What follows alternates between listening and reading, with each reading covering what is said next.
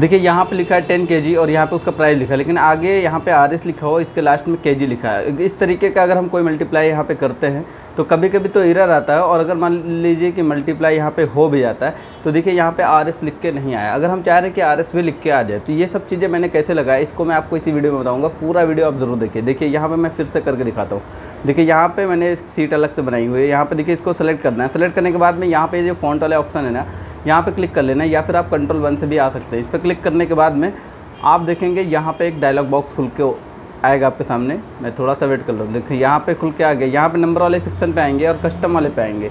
Custom वाले पे आने के बाद में चाह रहे हैं तो यहाँ पर हम क्लिक करेंगे, एक स्पेस देंगे और यहाँ पर इन्वर्टेड कॉमा लगा के के जी डॉट लगा देंगे और इन्वर्टेड कॉमा बंद कर देंगे। इस तरीके से कर देंगे इसको ओके सिंपल सा। तो देखेंगे, यहाँ पे सब में के जी लिख के ऐड हो गया। ठीक है, अब यहाँ पे मान लीजिए हमको प्राइस में ऐड करना है तो पहले इस सेक्शन को सिलेक्ट करेंगे और फिर से इसी वाले डायलॉग बॉक्स में क्लिक करेंगे। छोटा सा ऑप्शन है कंट्रोल वन से भी इसको खोला जा सकता है। क्लिक करेंगे और यहाँ पे नंबर वाले सेक्शन पे आएँगे कस्टम वाले ऑप्शन पे आएँगे और यहाँ पे इस बार हमको पहले चाहिए तो हम यहाँ पे पहले से इन्वर्टेड कॉमा लगाएँगे और यहाँ पे आर एस टाइप करेंगे डॉट लगाएँगे और इन्वर्टेड कॉमा फिर एक स्पेस दे देंगे। और सिंपल सा इसको कर देंगे ओके देखिए, यहाँ पे सबके आगे आर एस भी ऐड हो चुका है। अब जो है हम चाह रहे हैं कि आंसर भी हमारा सेम उसी तरीके से आए, यानी अगर अमाउंट लिख के आए तो आर, आगे आर एस टाइप हो जाए, या जो भी आप टाइप करना चाहें वो टाइप हो जाए। तो यहाँ पे इस वाले सेक्शन को पहले सेलेक्ट कर लेंगे और कंट्रोल के साथ वन प्रेस करेंगे। देखिए, इस बार मैंने शॉर्टकट से कर दिया है, ताकि आपको मालूम हो सके।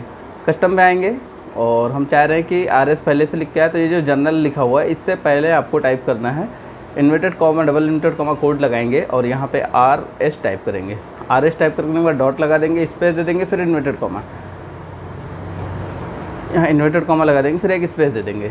और सिंपल से इसको कर देंगे ओके अब हम चल के फार्मूला इसमें लगाते हैं, देखते हैं आ रहा है कि नहीं आंसर आ रहा है। फिर इक्वल लगाएँगे, मान लीजिए कि इसको क्वांटिटी को हमको मल्टीप्लाई करना है प्राइस से। एंटर करेंगे तो यहाँ पे देखेंगे आंसर आपका, देखिए ऑटोमेटिक आर एस लिख के आ गया। अब यहाँ पे क्या करेंगे, इसको हम सिंपल से ड्रैग कर लेंगे। देखिए, यहाँ पर ड्रैग हो रहा है तो इस तरीके जितना भी आप ड्रैग करेंगे, सभी लोग का आंसर लिख के आ जाएगा।